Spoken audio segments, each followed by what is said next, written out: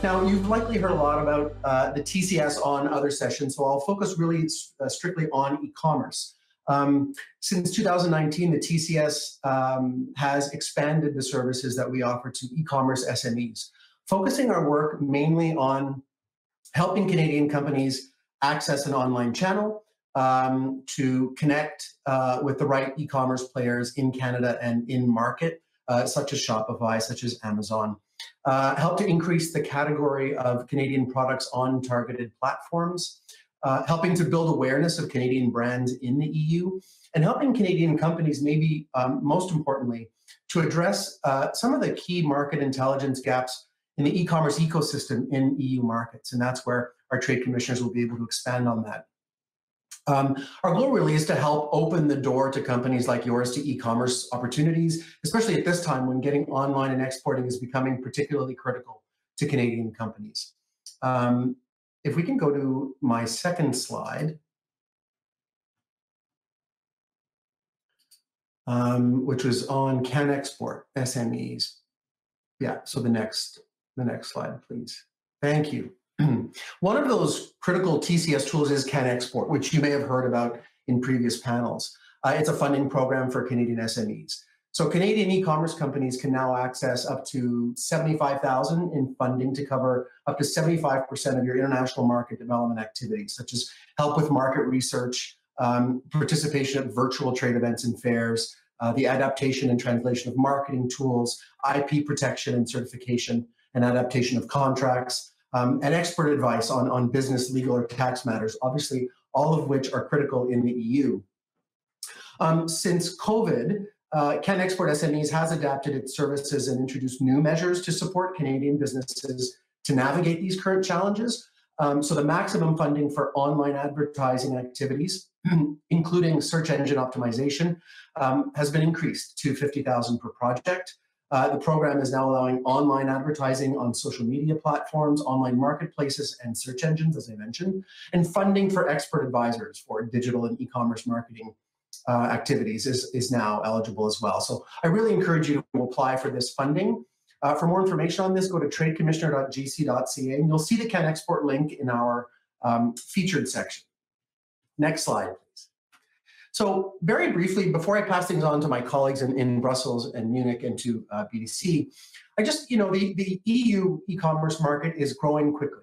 And it really represents uh, what we think a huge opportunity for Canadian retailers. Uh, in fact, e-commerce, to probably no one's surprise, is the fastest growing segment in retail um, in the EU. And while more than you know 65% of EU trade is with other EU countries, this trend really is changing, and there are huge opportunities for Canadian companies. Uh, large swaths of shoppers in many EU countries are purchasing from non-EU sellers, and this this trend is growing. A few a few tips before we get into it. Preparation is key. You know, uh, contacting your, your regional office, your TCS regional office in Canada uh, for, for assistance uh, early on is critical. Partners are essential. An importer of record will likely be critical uh, regulations, standards, and certifications can be stringent in spite of CETA, and this is where my colleague Eleanor will, will uh, speak a little bit on that. Frequent visits are necessary. EU is a, is a relationship market like many others. And of course, it's highly competitive. You'll be trying to take away market share from really well-entrenched companies. So on that note, I'm going to pass things over to my colleague Aliénor Faget, Trade Commissioner in Brussels. Aliénor, the floor is yours.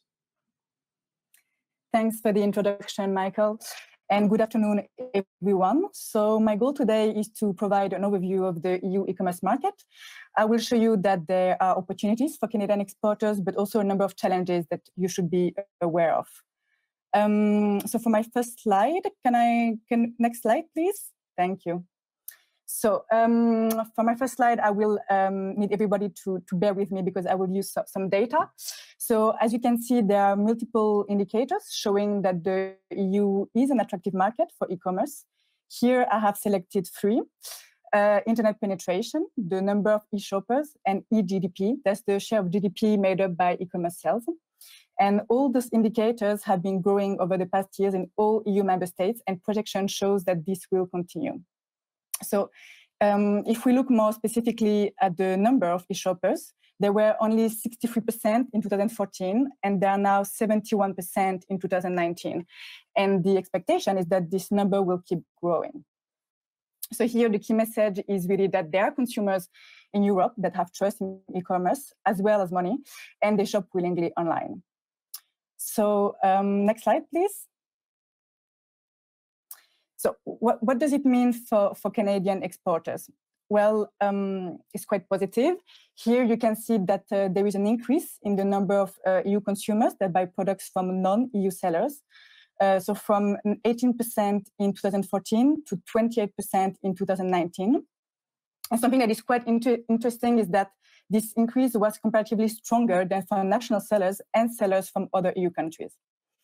So now the obvious question um, is, so what was the impact of COVID-19?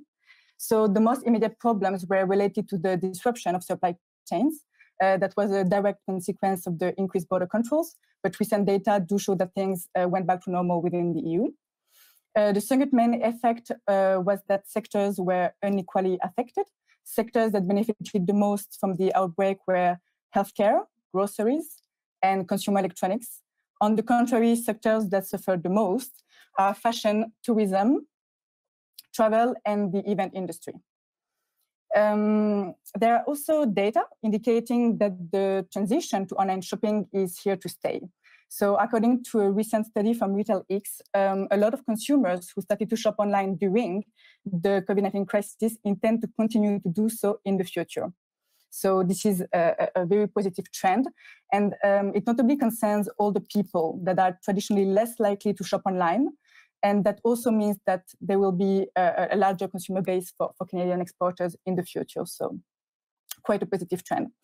Um, the fourth key trend emerging from the pandemic, uh, so that's my, my, my, fourth bullet point, um, is that consumers intend to continue to buy locally rather than just from marketplaces. Uh, well, why? The main reason is to obviously support local shops. So something to, to keep in mind. Um, next slide, please.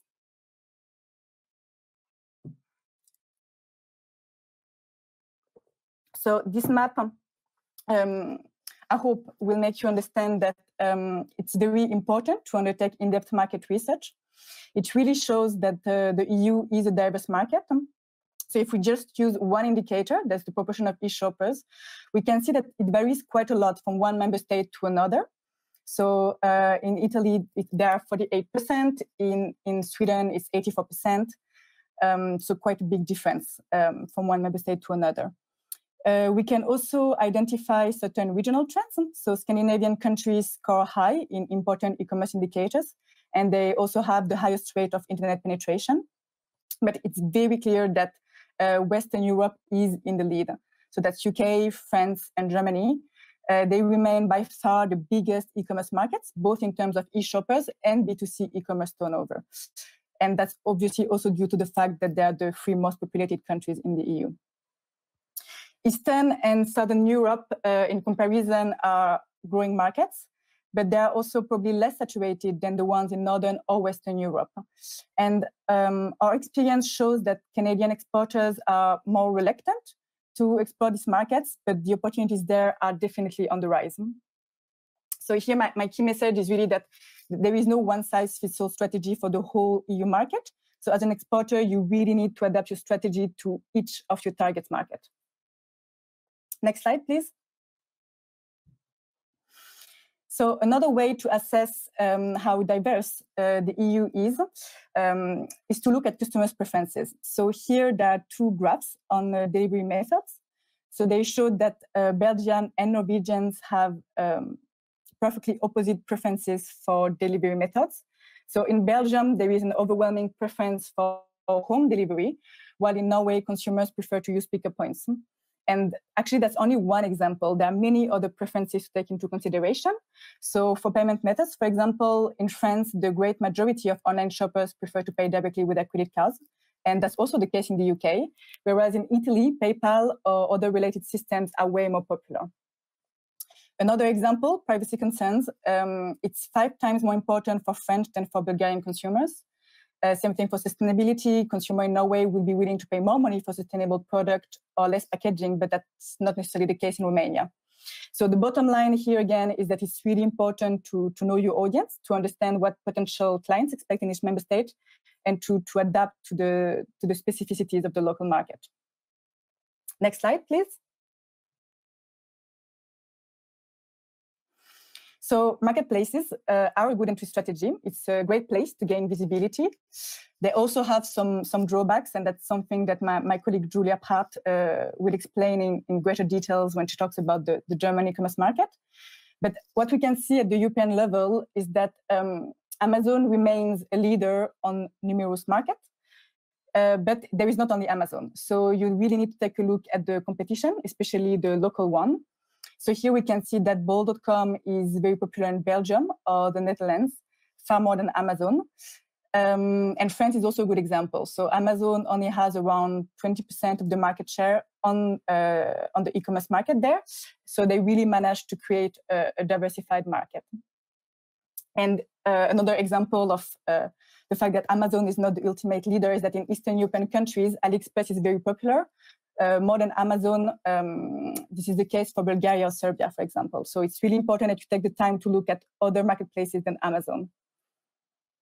Next slide, please. So this is a, a, short list of the most common challenges encountered by Canadian companies when they export via e-commerce. So first, fulfillment. So there are different solutions. Some marketplaces include that in their business package, such as Amazon. Uh, there are also third-party logistics providers that assist you. So there are really different type of solutions, but it's important that you prepare well. And keep in mind that once your product is in the EU, it can circulate freely from one member state to another. That's one of the key advantages of the EU single market, actually. That's the freedom of movement of goods. So you can store your goods in one country and sell them in another EU country. Uh, then on VAT, um, here's something important to note is that a reform is uh, upcoming at the EU level uh, that actually aims to boost and uh, facilitate cross-border e-commerce. It will enter into force in uh, 2021. So two of its key provisions is that first, it will allow organizations to uh, register VAT in one country and not several EU countries as it can currently be the case. And it also eliminates VAT exemptions for goods that are worth less than 22 euros. So something to, to keep in mind if you already export to the EU and um, you're already familiar with VAT, that there is change upcoming. Um, language, so it's important that you present information on your products in the native language of the target market. Uh, there is a diversity of languages in the EU. Actually, there are 23 official languages. So if you want to, to sell to a consumer, you need to use uh, his language. So that's, that's very important. Another uh, key point is that strong marketing strategy is, uh, is, is, essential, especially if you're aiming for a market that is already quite saturated, such as France, the UK, or Germany. And uh, those are actually the main destinations for Canadian exporters. And finally, the ability to uh, accept payment in local currency is also extremely important. Um, why? Because this will also allow customers to compare prices more easily.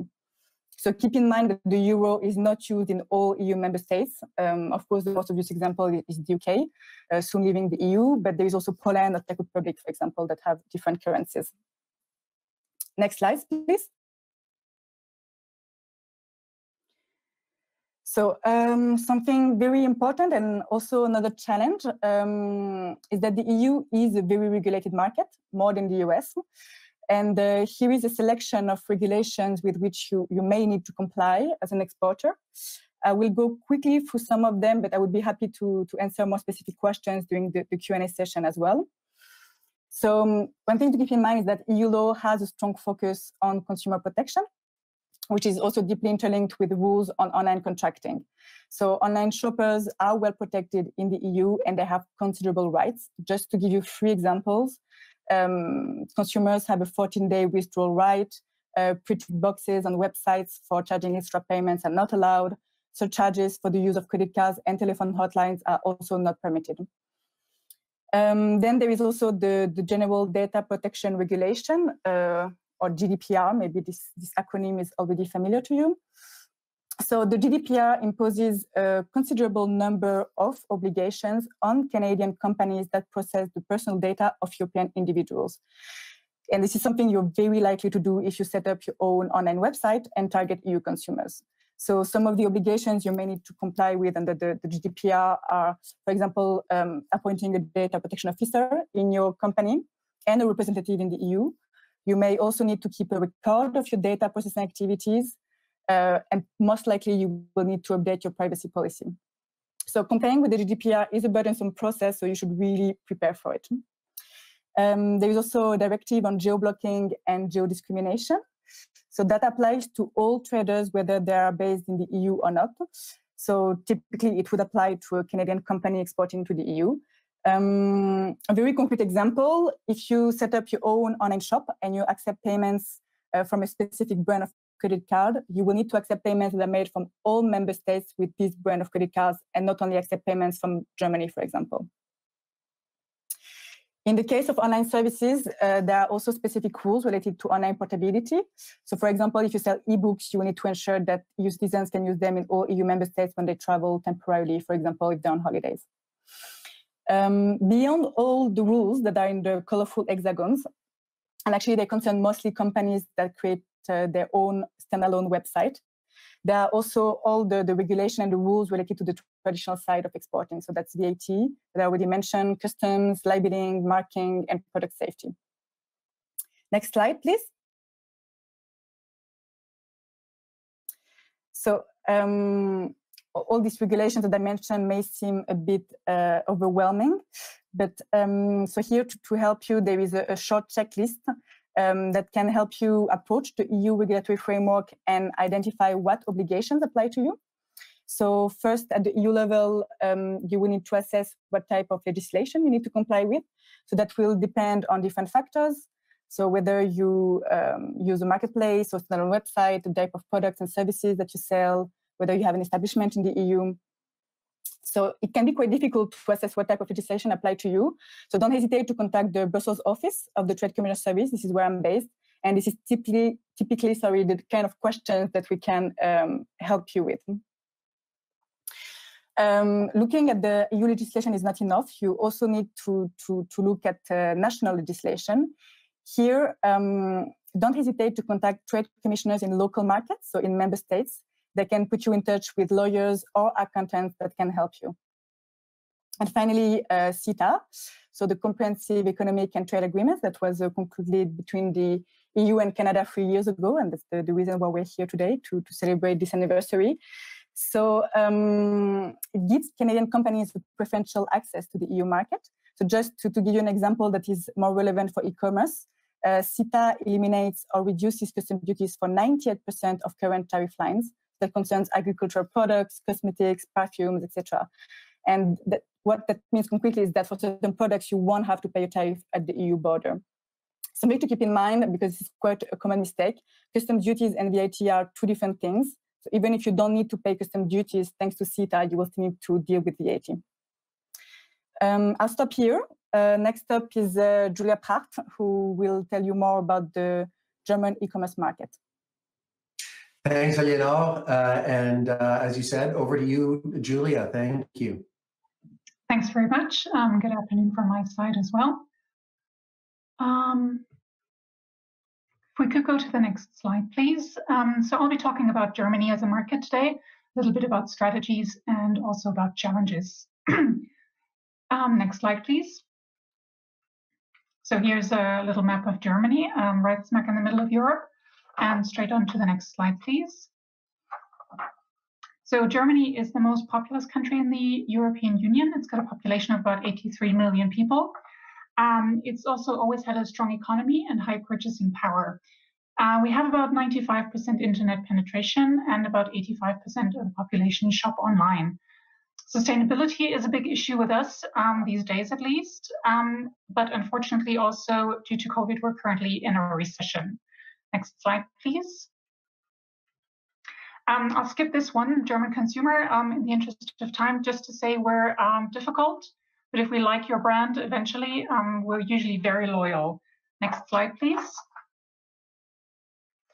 Um, so a little bit about the e-commerce status quo right now. Um, the projected uh, turnover in B2C e-commerce for physical goods only for this year is about 127 billion Canadian dollars.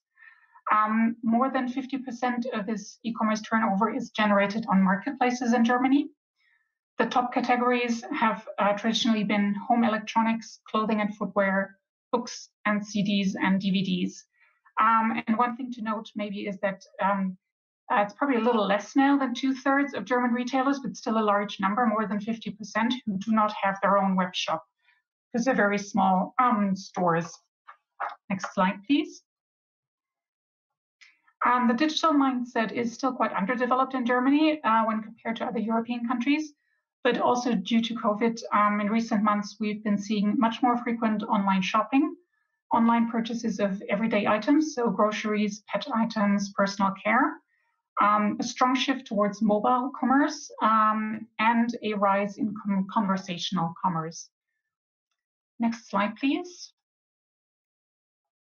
So next uh, topic is strategy, and uh, we can move right on to the next slide. Big question is, should you sell via a marketplace or um, operate your own standalone web shop? And this is a very important strategic decision. I would suggest uh, that you consider a variety of factors, such as what are you trying to achieve and uh, how do you want to do business in Germany? What products are you going to offer in the market? What are your expected sales? Do you think you will sell 10 units per year or per minute? How much of an investment are you willing and able to make? Are you looking to perhaps set up a company in Germany and run it? And how are you going to handle fulfillment? Next slide, please. Just looking at marketplaces now. Um, as already mentioned, they generate more than 50% of the e-commerce turnover in Germany. Sector is very dynamic and has um, grown very strongly over the past five years. There are currently um, over 170 marketplaces in the DACH region. That's uh, Germany, Austria, Switzerland. And they're a mix of international and homegrown marketplaces. so we obviously have Amazon. Oh, sorry, this has actually gone too far. Can we go one back, please? Thank you. No. Okay, maybe maybe one slide has lost has been lost. Sorry. Um, so I'm just going to con continue where I um, stopped. So we have Amazon and eBay as marketplaces, and um, they're often used by German retailers that don't have their own web shops. Um, and they also use Instagram and Facebook shopping features. Uh, some marketplaces are operated by well-known retailers, such as Otto, Douglas, Breuninger, or Galeria. But we also have a lot of specialized or niche marketplaces, such as Zalando, the Avocado Store, or Wundercurves. So getting to this slide now that you see on the screen right now. Um, the problem with most of these marketplaces is that you can't just sign up and start selling because they quite often select their sellers very carefully. And they only accept brands that are already known in the market and that complement their own portfolio. So Otto, for instance, is very clear about this, and Zalando is invitation only. Um, marketplaces also often require sellers to have a German company fulfill from a German warehouse and offers customer service in German. And this means that among the large marketplaces, unless you're planning to set up a German operation, um, Amazon and eBay may very well be your only choices. Um, alternatively, of course, you can um, look at some of the smaller uh, niche marketplaces that quite often do accept sellers from abroad if the um, product is a good fit. Next slide, please. So um, the general problem with marketplaces, uh, as has already men been mentioned, is that they're highly competitive because there are so many sellers there. Um, this means your sales will typically be lower and your return rates higher. You will have uh, little to no access to customer data, which is of course a strong disadvantage in today's data-driven economy. And selling in a marketplace is a full-time job that needs a strong strategy, especially regarding um, product selection, logistics, and marketing but they're the best place to gain visibility, and they typically have solutions or partners for everything, including fulfillment, payment, and taxes. Next slide, please. Um, so should you run your own web shop instead? Could be very tempting, but I would suggest that you consider a variety of, of issues. First of all, um, think about the German consumer and ask yourself whether you can set up an independent operation that will meet um, customer expectations and that will be able to compete with what other um, retailers have in place already. if the answer is yes, then you need to decide, are you going to operate a Canadian or a German website?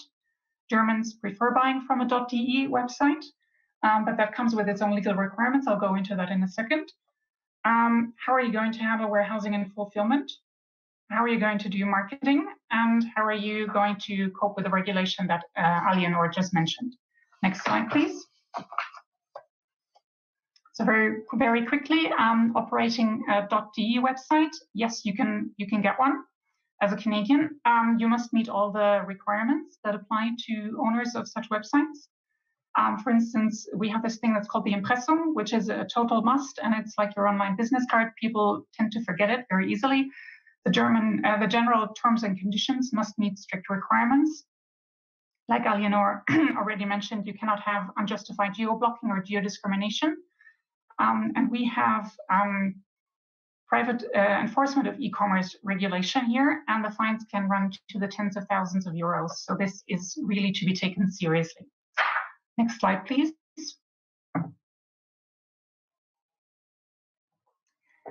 Just summing up some of the other issues that could occur. Next slide, please. So the German market is very big, but it's also very difficult to break into. And we typically advise our clients to allow to five years. Um, please keep in mind, not every product is going to work here.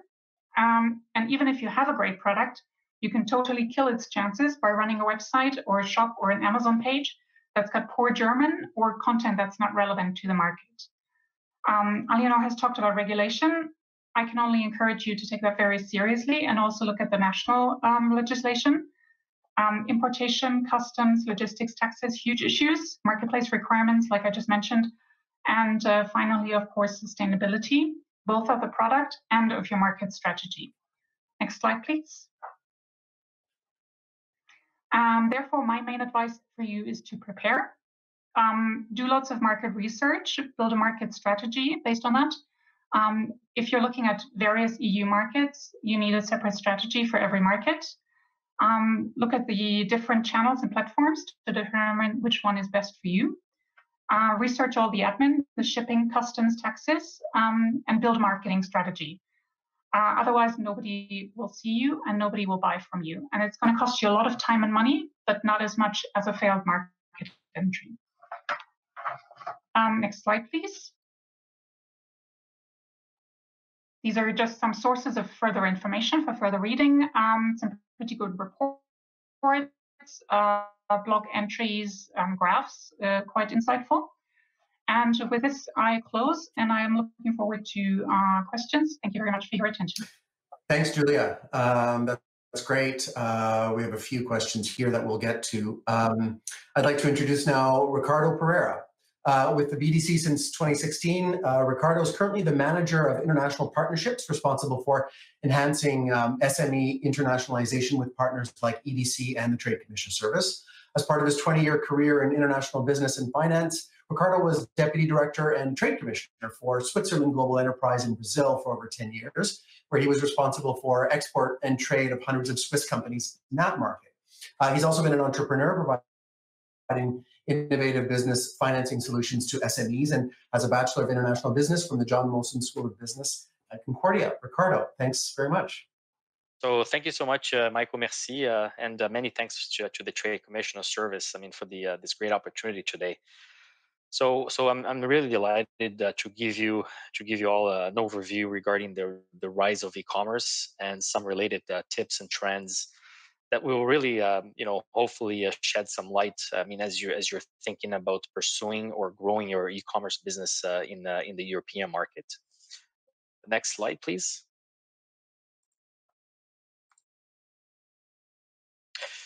Oh, uh, go, sorry. Go back. go back one, please. Thank you. So, um, so yeah, it's been uh, it's been really uh, you know uh, hasn't been easy for entrepreneurs uh, at all. I mean, with the lockdowns, uh, you know, from the COVID, uh, you know, has has hit many businesses really hard, which has caused sharp revenue drops and unexpected expenses clearly. So, you know, now more than ever, companies really need to focus on operating, you know, as efficiently and productively as as possible. So, so at BDC, I mean, we, we think that digital technology should be a key driver to you know getting your business back on track and position for for future growth, domestically and internationally. So for the next uh, eight to ten minutes, I'm just going to provide uh, an overview on on the rise of e-commerce by sharing you know some highlights of a, a BDC news study on e-commerce that was just released last week, and how you can really harness um, uh, the, the uh, how you can harness this to create a leaner, more productive, and more profitable uh, business uh, by putting uh, your customers, you know, at the center of the the online experience.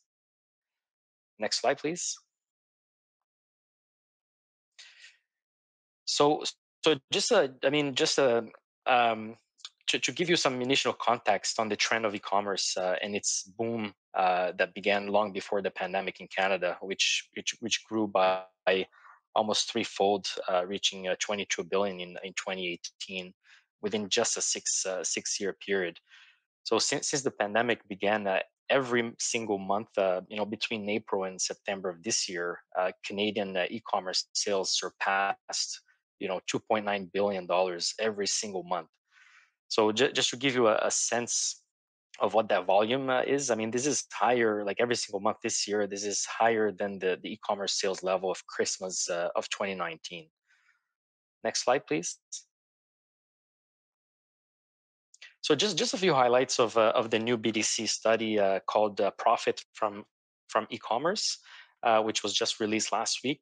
and by the way, the, the full study is, is available free at bdc.ca. So, uh, I mean, e-commerce is a, is a must for for many many businesses. Um, you know, the global uh, e-commerce market uh, is expected to reach you know 39 trillion dollars within the next three years. Um, incredibly, 85% uh, of Canadian consumers uh, are buying online. And um, according to to a poll that uh, BDC conducted in the summer, eight out, eight out of 10 Canadians who made a, an online purchase for the first time during the pandemic uh, do intend to continue shopping uh, online after the crisis. And, and I believe, you know, uh, this trend is uh, no different uh, in places uh, like Europe, like my colleagues were, were explaining how fast that the market is growing. nearly 80% of businesses active um, online saw sales increase even before the pandemic. But on the other hand, you know, too many entrepreneurs um, are really slow to making that shift. So only 46% of SMEs uh, are planning to sell online after the crisis. And believe it or not, I mean, fewer than 25% will prioritize e-commerce in the next year. So this is a, this is really a, a concern. Next slide, please.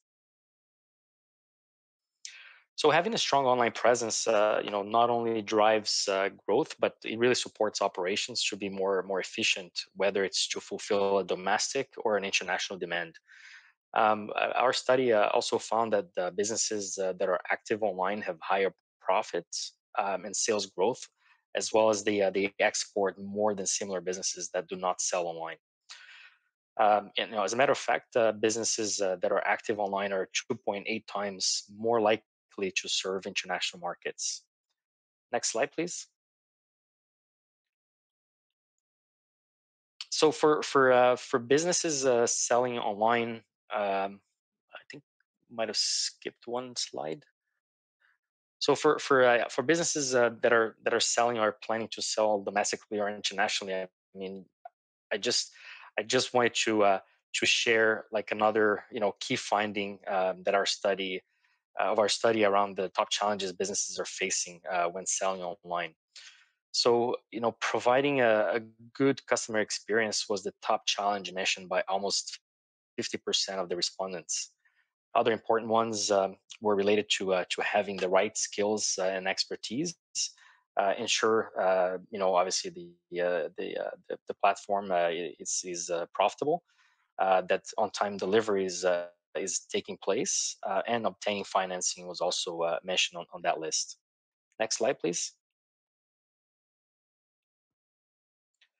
Again, almost half of businesses uh, who are selling online said that providing a good customer experience is a challenge.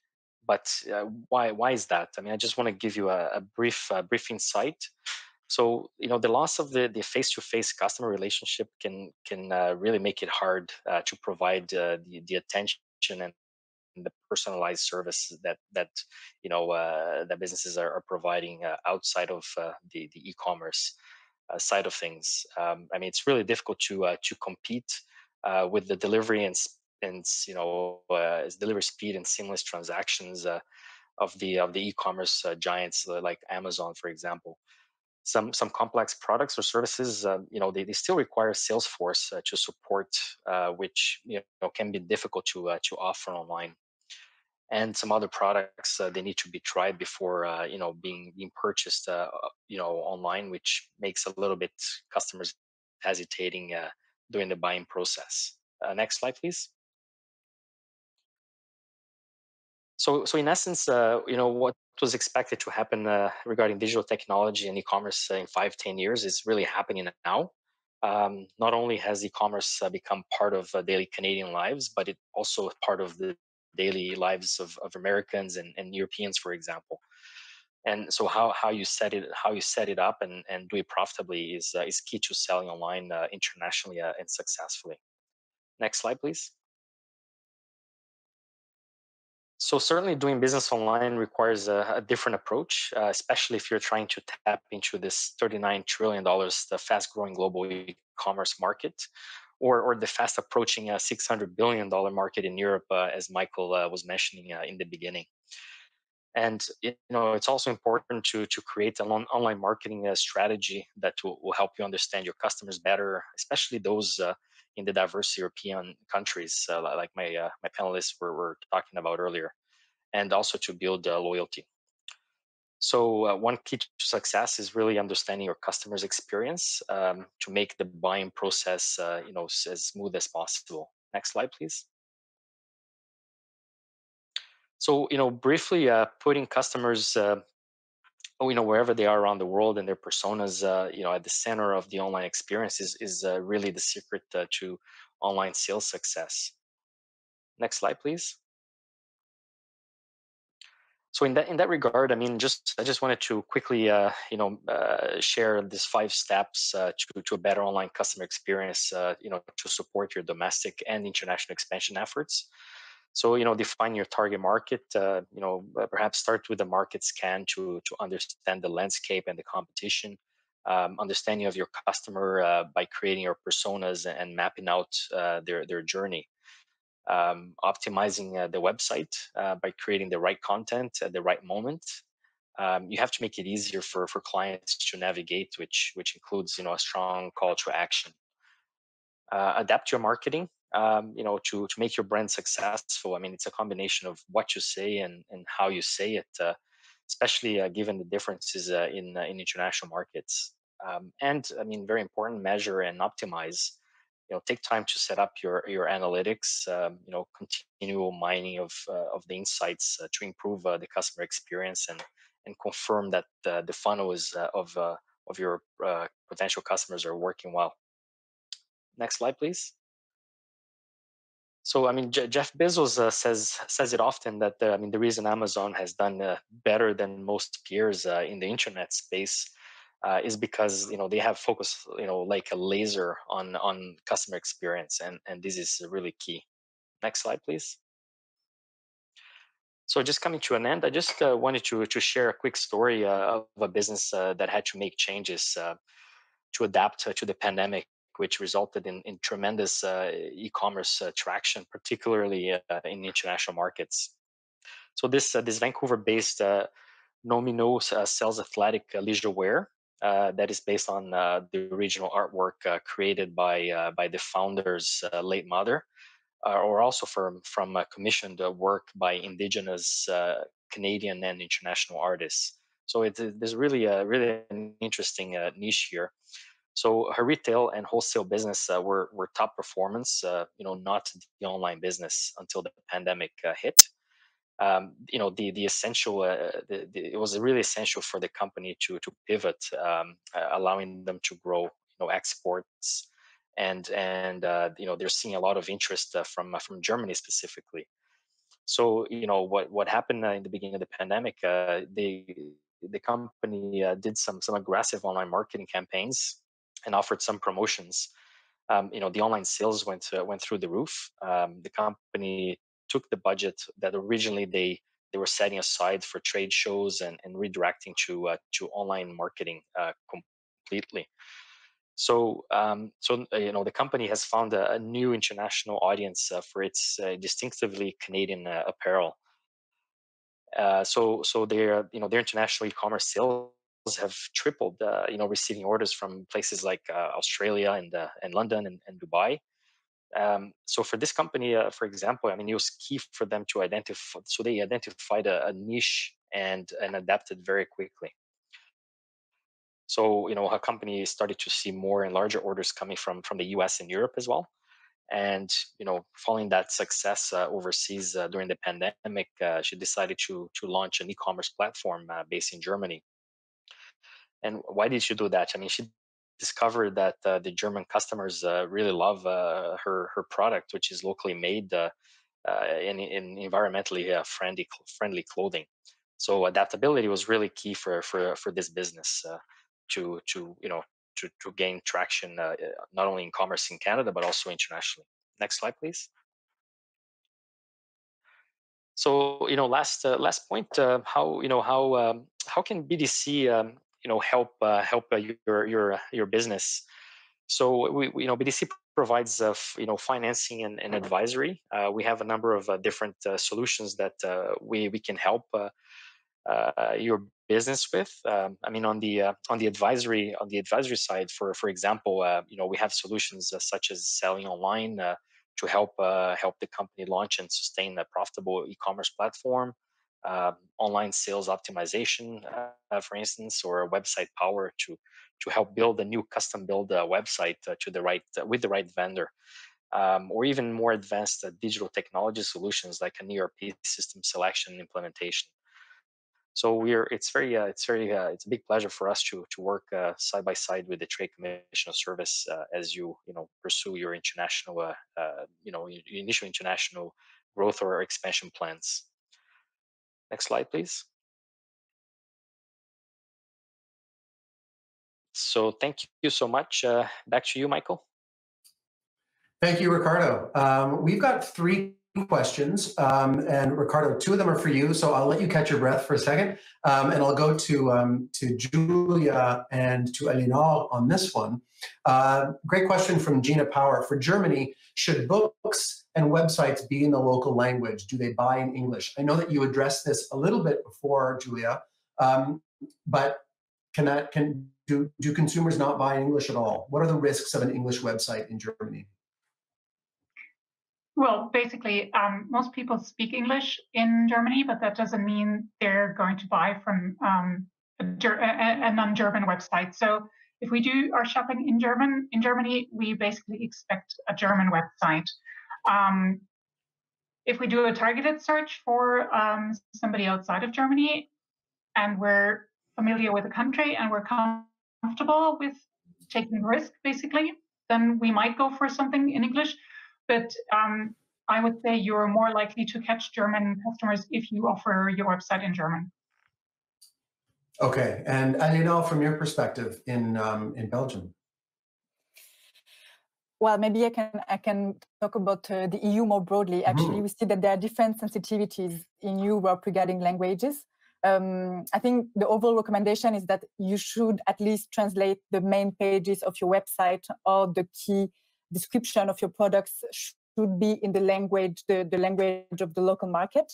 But we see that there is a difference. For example, uh, in France, it's very important that you speak in French to French people to sell products there.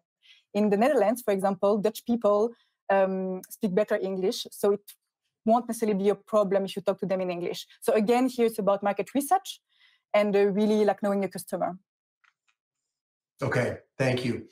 Ricardo, this is for you. How can I assess if an e-commerce strategy is right for my type of business to maximize my chance of success? That's a yeah, that's a that's a very good question. Uh, so I mean, you know, on, the online success uh, does does require the, like a structured uh, approach um, adapted to the reality of uh, of uh, of the business.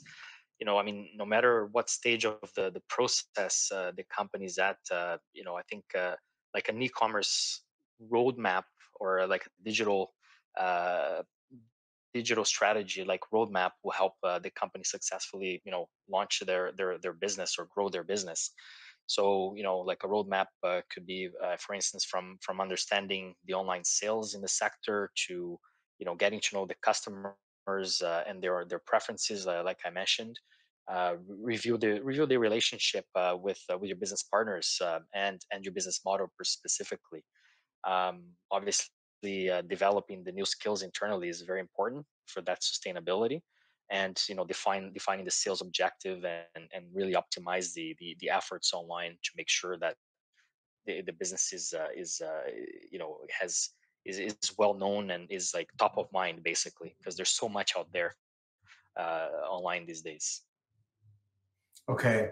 Um, is there in fact is there a way to find out how um, you know how a particular company is doing with its digital strategy. You mentioned digital strategy vis-a-vis other companies. I mean, all three of you talked about the importance of market research and understanding it.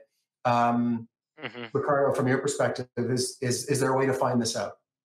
Oh, it's a very very interesting question. Uh, so so in fact, on uh, so I, am going to suggest that the uh, you know the uh, the BDC this, this new BDC study uh, that talks about uh, the e-commerce. Uh, there's um, there's an, an, element there that I mean obviously you can find it on at bdc.ca. So there, there's what we call it uh, a digital maturity level. So so there's a there's a free self-assessment tool for, as a matter of fact that that that we that companies can use um, you know basically to to compare themselves where where they're at you know like well how, how do we how do we define digital maturity for example? You know so basically you know it's i think it's in two different dimensions. Uh, one is its digital intensity and, and the digital culture. So you know so digital intensity intensity for example measures the the use of digital technologies in the company's operations that can include, uh, for instance, uh, the use of digital tools or the collection of the and use of the data to make decisions, uh, for example. So you know we do have this uh, this tool that will be able to to to help uh, companies sort of assess you know where they're at. Yeah. Okay. I'm not sure if I know and Julia wanted to address that as well in terms of um, you know maybe from the TCS perspective is some other ways that you know that the Trade Commissioner Service in the EU can help companies prepare um, based on the competition.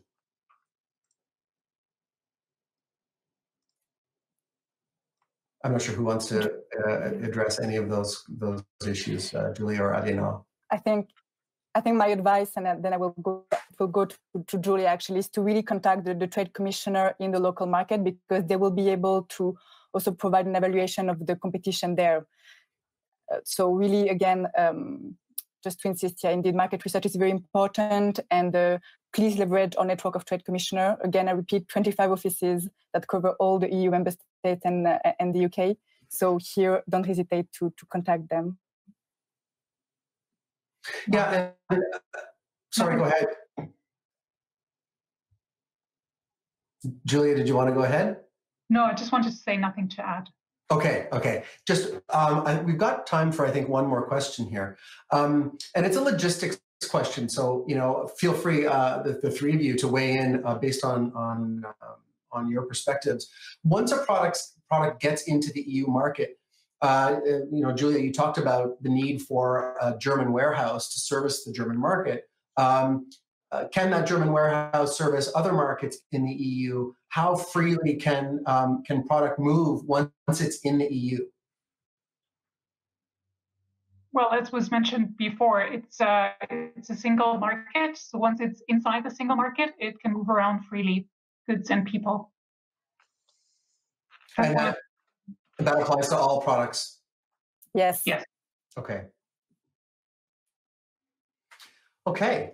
Well, listen, uh, thank you uh, to the three of you for your time today. Uh, thank you all for those who are online listening. Um, if you have any questions for us, please don't hesitate to reach out uh, to myself directly or uh, even better to your local trade commissioner where you live in Canada. A final point, you know, uh, just to encourage Canadian companies to, to consider e-commerce in the EU. Um, it's clear that there are, you know, there's a lot to know, there's a lot of regulation, but I don't want to overemphasize the challenges uh, with the market, uh, but rather um, I'd like to just you know end it on a note for you know the enormous opportunities that there are. Because you know the reality is, I think even when you get your e-commerce strategy right, uh, I think even when you get the the, the marketing mix, uh, you know, for your your particular target market right, and you've got your logistics set up um, that works properly, you're always going to have to um, you know improve and adjust as you go, uh, as you would in any other market. Uh, the opportunities are huge. Again, thank you to the panelists, and um, I will throw it back. Thank you.